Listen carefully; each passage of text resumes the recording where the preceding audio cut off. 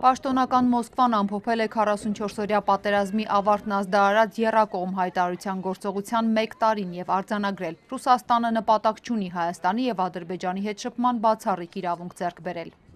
Ռուսական կողմը չի հավակնում Հայաստանի եւ Ադրբեջանի հետ շփման մենաշնորի, թեև այդ երկրների եւ ժողովուրդների հետ մեզ կապում է երկար եւ սերտ բարեկամությունը, լայնածավալ գործընկերությունը բոլոր ազիմուտներում։ Մենք հանդես ենք գալիս միջազգային հանրության ներուժի արդյունավետ օգտագործման օկտին, հաշվի առնելով տարածաշրջանային փոփոխված իրողությունները։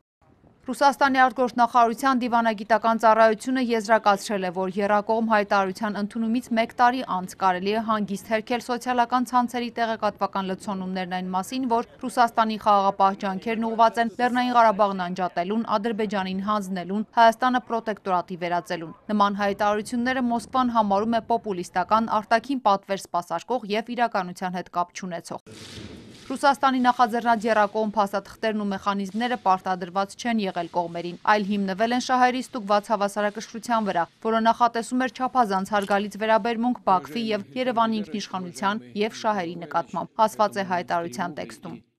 Մենք չենք կարողացել համաձայնության գալ մեր մի շարք նախաձեռնությունների շուրջ եւ դա նորմալ է, բայց արդեն իսկ հաստատված համաձայնությունը, ինչպես ասում են, ձեռք է բերվել տառապանքով եւ արդյունավետորեն իրականացվում է գործնականում։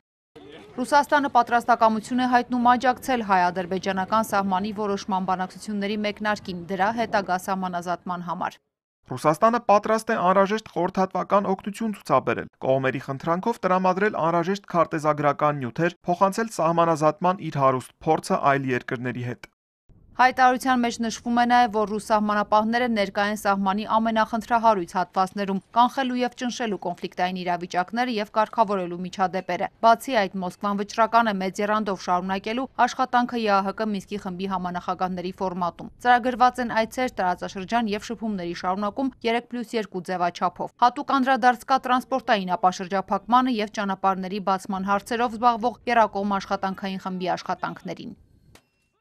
ԶԼՄ-ներում ուռճացված, այսպես կոչված Զանգեզուրի միջանցքի շուրջ ստեղծված իրավիճակի լույսի ներքո պակաս կարևոր չէ ընդգծել, որ Եռակողմ աշխատանքային խմբի բոլոր մասնակիցները համաձայնել են, ապա շրջափակված եւ նորաստեղծ տրանսպորտային բոլոր երթուղիները գործելու են այն պետությունների ինքնիշխանության եւ տարածքային ամբողջության նկատմամբ հարգանքի հիման վրա, որոնց տարածքով դրանք անցնում են։ Երակոմ աշխատանքային խմբի 8 հանդիպումների արդյունքով ներկայացված զեկույցում նկարագրված են երկաթուղային եւ ավտոմոբիլային կոնկրետ երթուղիներ, վերականգնելու Հայաստանի եւ Ադրբեջանի միջև կապը ելքով դեպի հարևան երկրների տրանսպորտային հաղորդակցություններ։ Սա ըստ Ռուսաստանի արտաքին քաղաքական գերատեսչության կբարձրացնի տարածաշրջանի տարանցիկ գրավչությունը եւ կներգրավի լրացուցիչ ներդրումներ։ Այդ կապակցությամբ Ռուսաստանի եւ Հայաստանի համար հյուսիս-հարավ միջազգային զարկերակի իրագործման լրացուցիչ հեռանկարներ են ի հայտ գալիս, եզրափակել է նախարարությունը։